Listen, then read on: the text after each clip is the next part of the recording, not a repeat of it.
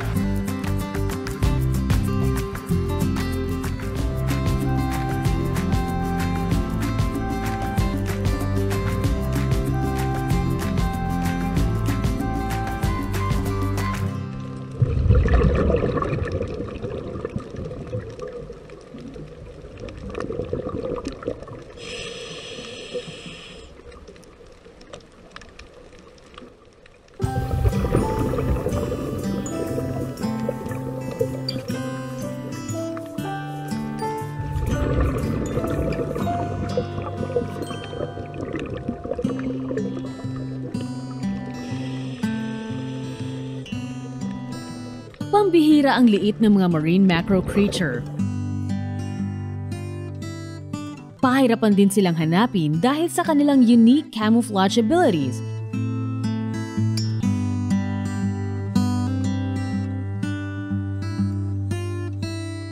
Pero dito sa Romblon, hindi raw uuwing luhaan ng mga dumadayong underwater photographer dahil garantisado raw na may makikitang hindi lang macro kundi rare marine creatures sa kanilang dive adventure. Kaya naman, tinagurian ang Romblon Island bilang rare macro critter haven ng bansa. Pero bago natin i-explore ang underwater paradise ng Romblon, alamin muna natin kung saan nga sa ilalim ng dagat madalas makikita ang mga macro creature.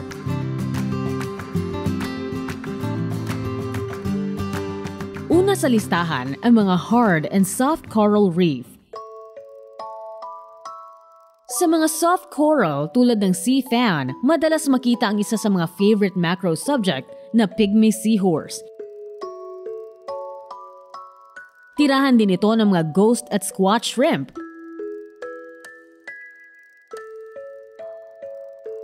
Pwede mo ring may spatan ang mga soft porcelain crab dito. Maraming uri naman ng nudie branch ang pwede mong makita sa mga hard coral. Paborito rin itong pahingahan ng mga juvenile frogfish.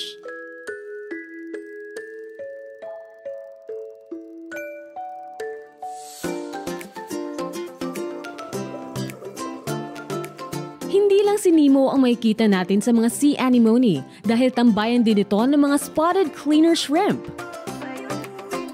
Madalas ka bang makakita ng feather star o crinoid sa iyong mga dive adventure? Huwag siya puwera mga feather star dahil maraming macro subject ang pwede mong matimingan dito. Paborito silang tirahan ng mga crinoid clingfish at maging ang ornate ghost pipefish.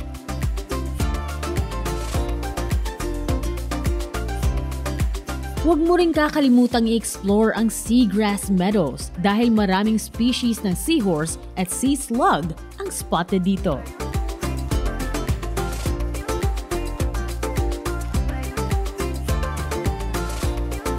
Kung sandy bottom naman ang dive site, maging mapagmatsyag dahil pati sa buhangin ay may nakatagong underwater subjects.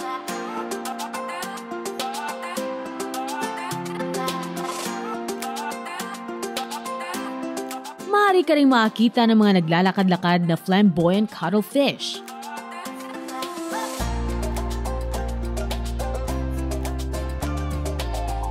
Kung sa buhangin ay may makikitang macro subject, mas marami pang macro creatures ang spotted naman sa midwater column ng dagat. Sila ang mga zooplankton na nagsisilabasan sa pagsapit ng gabi. Dito makikita ang hindi mabilang at pambihirang underwater subjects.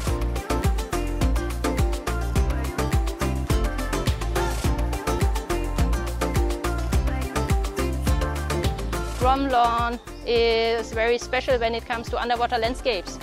We have coral reefs, we have sandy slopes, we have muck diving, we have seagrass meadows, we have small walls, we have a big diversity in underwater landscapes. Ayun, kaya naman pala hindi nabibigo ang mga underwater photographer na bumibisita rito. One-stop shop kasi ang ilalim ng dagat ng Romblon. Kaya kung gusto mong maka-experience mag-spotting ng macro critter, bakit hindi mo subukang sisiri ng underwater world ng isla? Up next, know the importance of dive spotters and learn the basics of macro dive spotting. The Dive.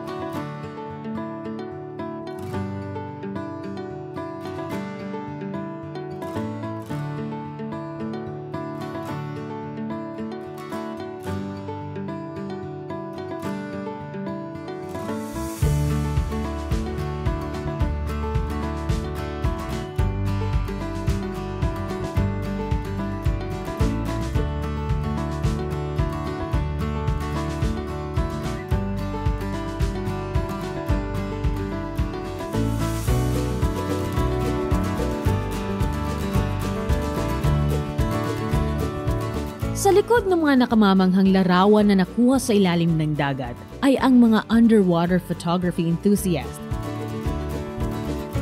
Pero alam nyo ba na bukod sa mga underwater photographer, may isa pang nasa likod ng mga spotted macro marine life?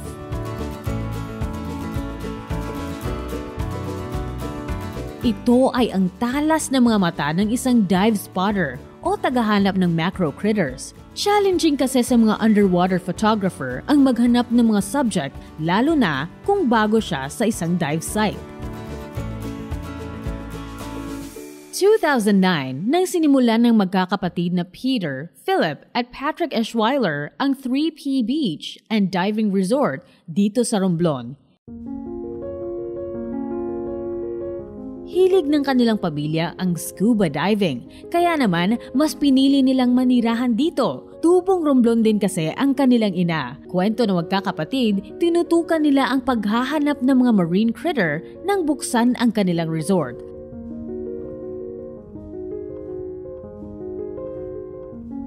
At isa sa mga nakita nila rito ay ang Lembe Sea Dragon. Hindi rin daw nila inaasahan na makakakita sila dito ng Phantom Nudibranch o ang Melibi colimani, ang hinahanap-hanap ng mga macro photography enthusiast. Trivia Buddies! Alam nyo ba na ang kauna-unahang Melibi colimani na nadiskubre dito sa Pilipinas ay na-capture mismo ng world-renowned underwater photographer na si Jerome Kim? Sa tulong ito ng dive spotter na si Philip Eschweiler. Mga dive spotter ang unang nagiging lente ng mga underwater photographer. At ngayong araw, makakasama natin ang kapatid ni Philip, si Patrick Eschweiler, isang professional diver and spotter. Ituturo niya sa atin ang mga dapat malaman ng mga nais maging spotter.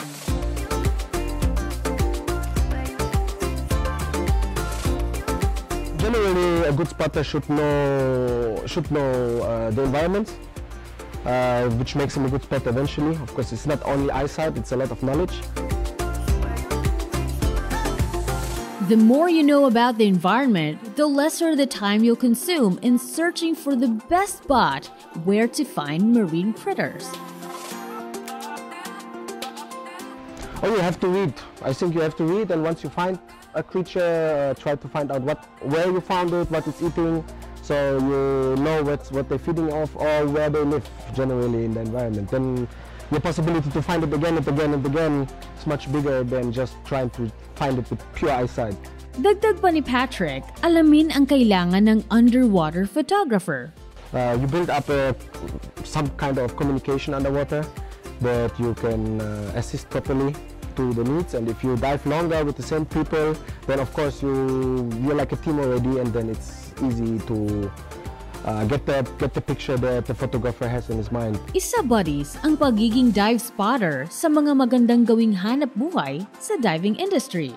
Pero paalala ni Patrick, may malaking responsibilidad ang mga dive spotter sa pangangalaga ng mga nilalang sa dagat. Uh, what is very important for the future of the Philippines in, in general diving industry is that uh, spotter are responsible for the creatures they find and take care of them because that is the income source. That is why people are coming, and uh, they should be protected and uh, treated well.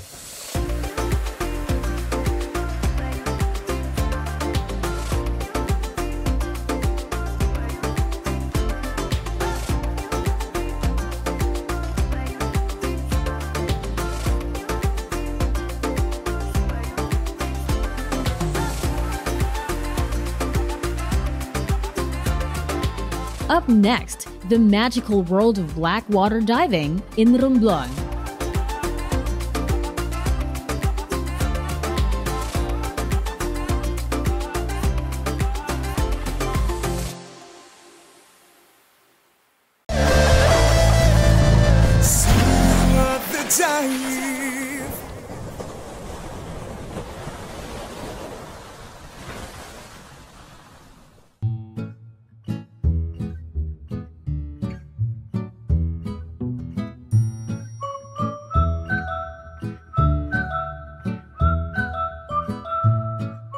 Lang macro diving ang dinarayo sa Romblon dahil isa rin itong go-to place ng mga black water enthusiast where we can spot more macro and rare marine creatures. Blackwater diving is, as the name says, during nighttime we go out in the open ocean. Above us is, uh, below us is like 200, 300, 400 meters. Uh, we dive up to our safety is 30 meters. Uh, we got the line with the buoy and lights attached, and we look for pelagic magic because during the nighttime uh, it's the biggest migration on the planet Earth. Every night, all the critters are coming up to feed or to breed. So there we got the chance to shoot uh, very, very rare level things like fish, shrimps, paper nautilus, nautilus, different kind of critters. Talaga namang level up underwater photography experience ang hatid ng Blackwater Diving Adventure. experienced diver would always want to go to Blackwater because once they're really experienced, that means they already pictured most of the very rare critters that you can find around the world. And Blackwater can give you a different alternative, can give you critters that maybe you're the first one who ever see it and put it on picture. That's why people love to make Blackwater because it's um, so unique in creatures that you can find.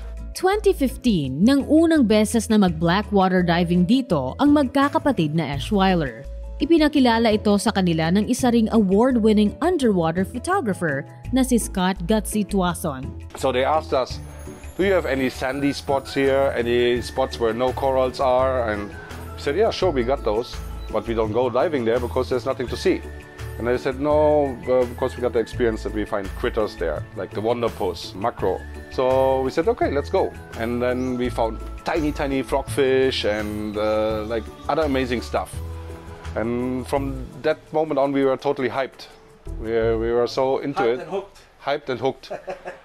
Dito na raw nag-umpisa ang hilig ng magkakapatid sa blackwater diving. At dahil sa dami ng mga nakikita nilang pambihirang nilalang, mas nakilala pa ang isla ng Romblon. Pero bago tayo mag-dive into the magical world of blackwater, narito muna ang mga dapat alamin tungkol sa blackwater diving. For blackwater diving, you should be at least advanced diver or you have a minimum of 100 dives. You should not be a beginner because it's all about buoyancy there. We don't want to drift away. It's a drift dive in the open ocean. We have to keep aligned with the, with the light that we put out there. So the people need to stick together and while shooting, you can get distracted. You might sink because the object is sinking and you don't realize it until your ears are suddenly sounding alarm because you have to equalize because you drop deeper. So you have to be in that way experienced that you recognize those things and be disciplined. At dahil extra challenging ang blackwater diving, mahalaga na sumunod sa dive plan. Definitely listen to your dive leader during that point. Uh, usually our guests will have a dive guide with them, additional dive guide who's also spotting. Yeah, you have to listen to the briefing, otherwise you, you, you can't do really wrong. Because for the first timers who do blackwater, even if you're an experienced uh, photographer, like if you go in the reef, you already know, okay, you position yourself like this, you have to put your arm like this, etc., etc., to stabilize. Doing blackwater, it's all floating. So the object is here, you are here, and you try to bring everything synchron so to take the picture, right? It's way difficult, way more advanced you have to you have to focus on your breathing, on on on, the, on your technique. Is the technique that you learned before is way different. Each blackwater dive is different. You can't say what is coming up this night. What are you gonna see? How is the current that night? It's always it's always different. It's always something you can be having super surprising or sometimes a little bit boring. I mean, boring for those who do it regular base. I do it if I do it in a year a hundred times, then I see things over and over again because there's always, I mean, there's same stuff coming up. You took many pictures of that, so you, the more often you do it, you want to see different stuff, of course. But normally for people who do it the first time, the second time, or just uh, during the vacation, they're always happy to see any subject and get a good picture out of it. So the expectations and uh, the challenge for the photographer is to make the best out of the situation and, and shoot whatever you see and try to make the best picture you can do.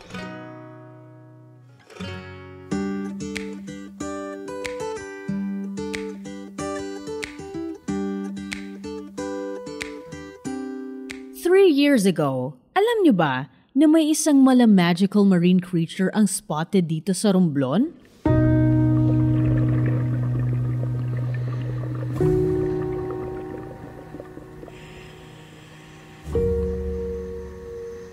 Ito ang female blanket octopus.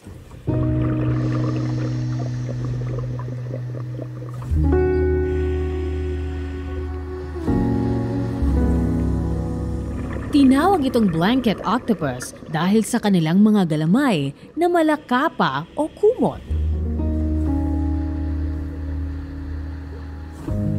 Bukod sa kanilang nakamamanghang kulay, kilala rin ang mga species na ito sa kanilang sexual dimorphism. Ang sexual dimorphism ay isang sistematikong pagkakaiba sa anyo ng dalawang magkaibang kasarian ng magkaparehong species. Gaya sa blanket octopus, di hamak na mas malaki ang mga babaeng uri nito kaysa mga lalaki. Lumalaki ng humigit kumulang dalawang metro ang mga female blanket octopus habang halos 1 inch lamang ang mga lalaking uri nito. Dahil sa laki ng pagkakaiba ng kanilang sukat, ang blanket octopus ang may pinakamalaking gender size discrepancy in the animal kingdom.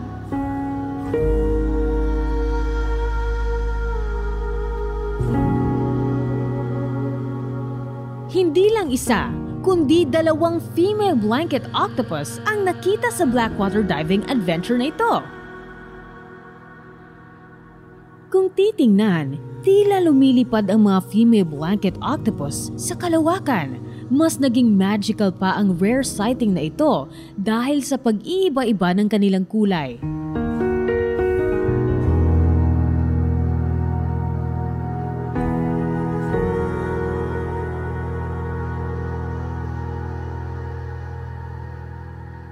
Pagdating naman sa patalinuhan, hindi rin papahuli ang mga blanket octopus. Kilala sila sa mundo ng dagat bilang isa sa mga matatalino at madiskarte pagdating sa hunting. Kapag nalalagay sila sa isang potential danger, Iwinawagayway ng female blanket octopus ang kanilang mga galamay. Paraan nila ito para magmukha silang isang malaking hayop sa dagat. Immune din ang kanilang magical tentacles sa mga extremely toxic sting tulad sa taglay ng Portuguese manowar. Kaya din nilang punitin ang galamay ng manowar at ikinakabit nila ito sa kanilang katawan para gamitin naman bilang defense weapon. At kung hindi ito gumana sa kalaban, kaya nilang i-detach ang kanilang galamay para makatakas. Pero hindi tulad sa ibang mga pugita, hindi naglalabas ng tinta ang mga blanket octopus. Sapat na ang kanilang magical tentacles upang protektahan ang kanilang mga sarili. Well, Blanket Octopus reminds us that we can't have it all, but we can be the best version of ourselves with what we have. That's the wonders of creation.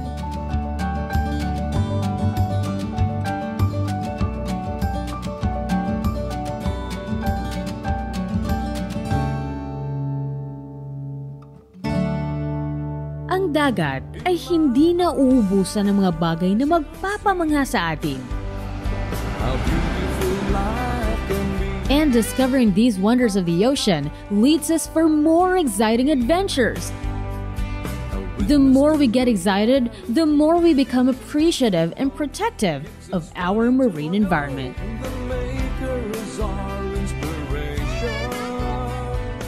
Oh, paano buddies? Hanggang sa susunod na dive adventure with your diving buddy, The Dive.